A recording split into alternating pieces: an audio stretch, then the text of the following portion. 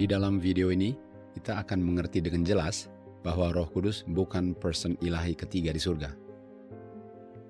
Ayat Yohanes 14 ayat 16 adalah ayat yang sering digunakan sebagai bukti bahwa Roh Kudus adalah oknum ilahi ketiga di surga selain oknum ilahi Bapa dan Anak.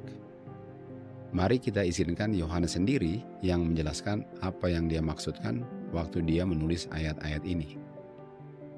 Dia mengatakan bahwa penghibur yang lain adalah Roh Kudus. Dan di ayat ini, Kristus mengatakan bahwa Roh Kudus adalah Dia yang akan berdiam bersama murid-muridnya. Kata ini digunakan sebagai alasan bahwa Roh Kudus bukan Kristus, karena kata Dia adalah kata ganti orang ketiga, sementara Kristus di ayat ini adalah orang pertama. Sehingga mereka katakan Pengertian ini cocok dengan tulisan Miss White yang mengatakan bahwa Roh Kudus adalah pribadi ketiga dari keilahian atau the third person of the Godhead. Kata the third person ini mereka artikan sebagai pribadi ilahi ketiga, sesuai dengan kata dia di Yohanes 14 ayat 16. Kalau kita berhenti di sini, pengertian itu kedengarannya benar. Namun kita perlu untuk membandingkan tulisan Yohanes dengan tulisan-tulisan lainnya agar tulisannya lah yang akan mengartikan artinya sendiri.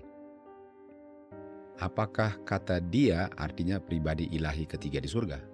Ataukah ada arti yang lain yang Kristus maksudkan waktu dia menggunakan kata dia? Kita tidak perlu menebak-nebak apa yang Kristus maksudkan, karena di ayat 18, yang Kristus katakan yang akan datang nanti adalah dirinya sendiri. Dia katakan, aku akan datang kepadamu jadi walaupun Kristus menggunakan kata dia waktu dia berbicara tentang roh kudus, tapi Kristus katakan bahwa roh kudus adalah dirinya sendiri. Dia adalah aku. Aku adalah dia. Roh kudus adalah aku. Aku adalah roh kudus. Dan karena Kristus bukan pribadi ilahi ketiga di surga, artinya roh kudus bukan pribadi ilahi ketiga sesuai dengan apa yang diajarkan sebagai doktrin Trinitas. Roh Kudus adalah rohnya Kristus, bukan pribadi ilahi ketiga ataupun rohnya pribadi ilahi ketiga di surga.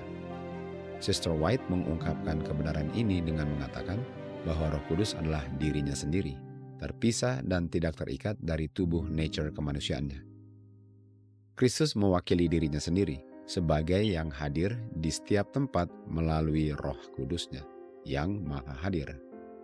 Kita kembali ke Yohanes 16 ayat 17.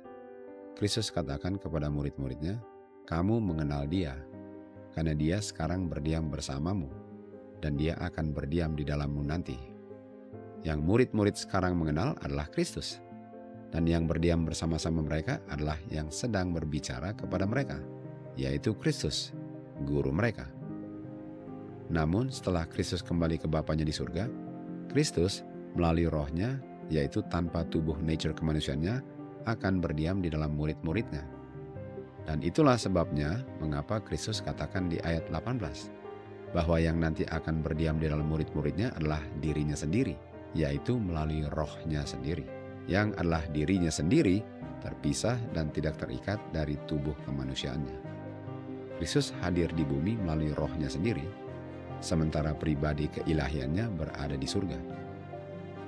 Dan dengan cara seperti inilah, Kristus selalu hadir bersama murid-muridnya di bumi, melalui roh kudusnya yang maha hadir. Sementara tubuh pribadi keilahiannya di surga, namun Kristus tetap hadir di bumi bersama murid-muridnya sampai the end of the world. Di Yohanes 17 ayat 17, dia menulis, kita disanctify melalui kebenaran. Artinya, kesalahan tidak pernah sanctify gerejanya di bumi Sister White menulis di Letter 66 1894 bahwa Roh Kudus adalah Jesus Christ. Kutipan ini dengan sangat jelas mengatakan bahwa Roh Kudus bukan makhluk pribadi ilahi ketiga di surga, sesuai dengan yang diajarkan doktrin Trinitas. Roh Kudus adalah Jesus Christ, terpisah dan tidak terikat dari person nature kemanusiaannya. Semoga kebenaran firman Tuhan membebaskan kita dari semua tipuan-tipuan setan. To God be the glory.